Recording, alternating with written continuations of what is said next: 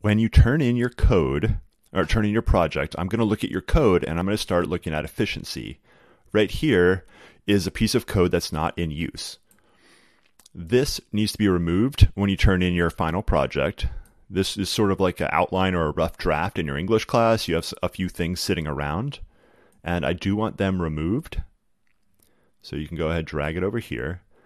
I'm on the uh, application, not the web version. So if you're on the web version, it looks a little bit different, but you can save a version to your computer as like a rough draft, and then you can save the final version uh, if you want to have a couple extra things that you're playing around with.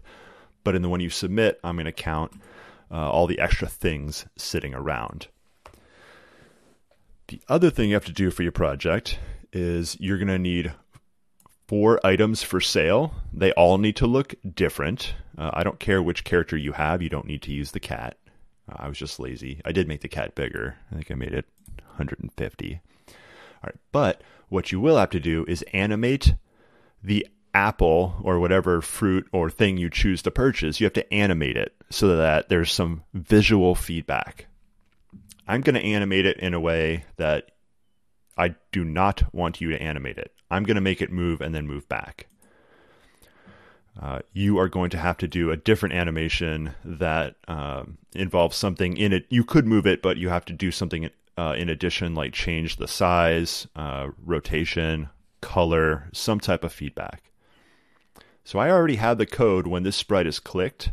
Before I do this, let's go ahead and go to looks. So what I'm going to do oh, not looks, motion. Uh,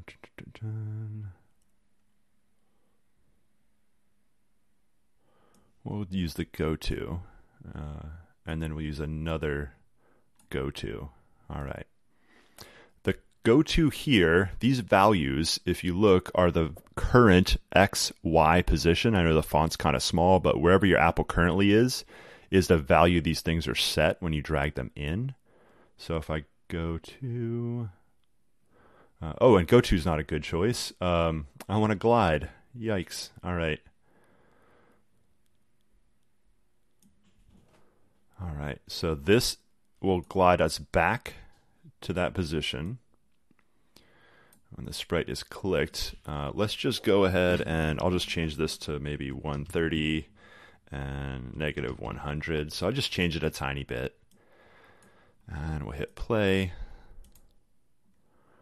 That's not a great animation um, because, well, it doesn't really go far enough. So let's do maybe negative 90, 120. So it's going to go a little further. I want to go way faster. So we'll do 0.3, 0.3, so it'll move much faster. So that's much better right there. All right, so you're going to have to do an animation that uh, acts differently. And if you want to, you can do a different animation if you have money versus if you don't have money. Uh, in fact, actually, you were going to have to do a different animation uh, because that would be cool. So, how do we do that? Oh, oh, come on. I will go. Here we go. So my animation's only going to happen if I can purchase it. If I cannot purchase it, you will add another animation here.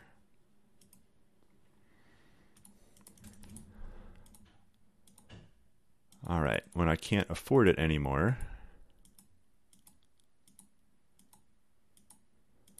you'll see it stops animating. All right, you do have to, whatever you do, you have to undo. And also, if some of these animations, uh, some of this code does not actually wait any amount of time.